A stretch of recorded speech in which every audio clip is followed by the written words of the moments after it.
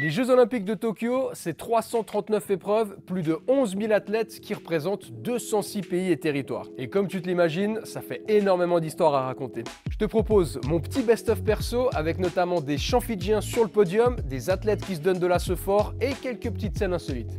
Décrassage, décrassage, décrassage. Mais avant ça, ces images incroyables d'anglais devant leur télé pour une finale historique, car cette fois ça y est, it's coming home. Et non, je te parle pas de foot, mais de natation. C'était la famille de Tom Dean, médaille d'or sur 200 mètres, l'Angleterre qui gagne. D'ailleurs les footeux, pourquoi vous prenez pas exemple sur votre compatriote Tom Daly Petit tricotage anti-stress en tribune et médaille d'or en plongeon. Tricot Tom a même un compte Insta avec ses créations, dont cette petite pochette à médaille d'or. Si vous commencez maintenant les gars, peut-être que vous aurez les skills dans 4 ans pour une pochette Coupe d'Europe. À Tokyo, en été, ça peut arriver qu'il fasse un peu chaud.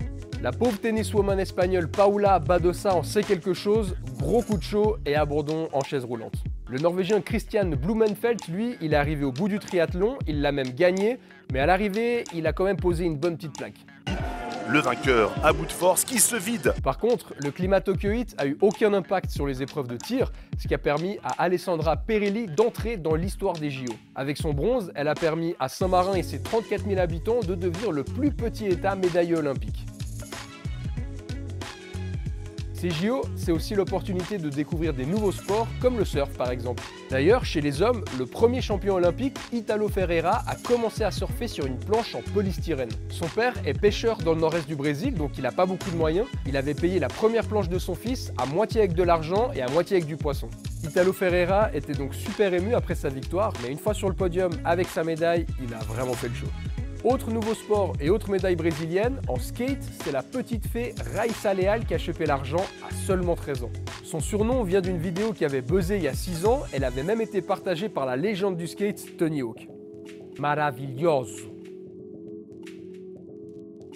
Les JO, c'est aussi l'esprit de Coubertin, une certaine destinée commune partagée par les athlètes, en mal parfois, mais très souvent en bien aussi comme Uta Abe, la sœur, et Ifumi Abe, le frère, championne et champion olympique en judo, à quelques minutes d'intervalle chez eux dans le temple de leur sport, le Nippon Budokan. Family Business en natation aussi, le français Florent Manodou médaillé juste avant sa compagne, la danoise Pernille Blumet. Et puis des fois, c'est juste entre potes qu'on se motive et qu'on se pousse à dépasser les limites. On a vu ça avec les nageurs suisses par exemple. Noé Ponty a créé la surprise avec une médaille de bronze sur 100 mètres papillon, un jour après celle de Jérémy Desplanches sur 200 mètres 4 nages. Encore un joli exemple avec l'italien Gianmarco Tamberi et l'athlète du Qatar Moutaz Essa Barshim. Les deux sont super potes. Barshim a invité Tamberi à son mariage par exemple, ils avaient subi la même grave blessure à la cheville. Et là à Tokyo, ils se sont retrouvés à égalité parfaite et ils ont décidé de partager la médaille d'or.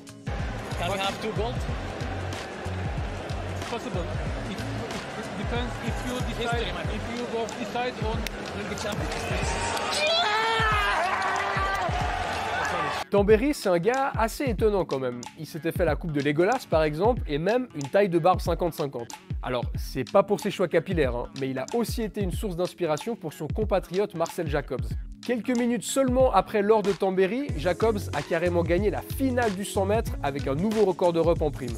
Italien en 9,79 L'immense surprise L'immense surprise avec le titre de l'amende et regardez Tambéry qui l'attendait Donc, si on résume, hein, cet été, l'Italie, c'est l'homme le plus rapide du monde, celui qui saute le plus haut, championne d'Europe de foot et vainqueur de l'Eurovision.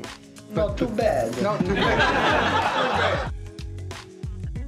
Et toi, c'est quoi ton meilleur moment jusqu'à maintenant de ces JO de Tokyo? Donne-le-moi en commentaire. Moi, je te laisse avec le mien, le chant des Fidjiens sur le podium après leur sacre en rugby à 7. À la semaine prochaine.